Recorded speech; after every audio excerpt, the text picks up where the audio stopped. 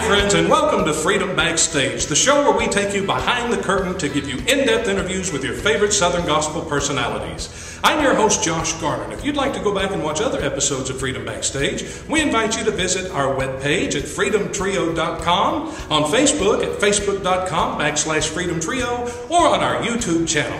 Now, I am absolutely thrilled to bring you today's program because with me is absolutely my greatest hero in all of Southern Gospel music. I can truly say this gentleman is very much responsible for me singing today. He is the little giant, Ernie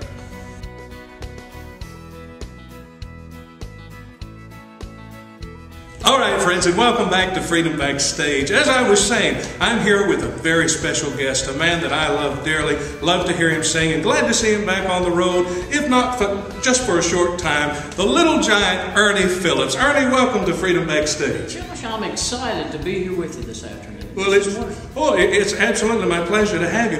Always a joy and an honor to see you and to get to hear. Yeah, I'm sorry. This is one of my bucket lists, just to be with you. Yeah. You're kidding me. Yeah, So you can cross it off? Exactly. All right. Well, thank you for your time, Ernie.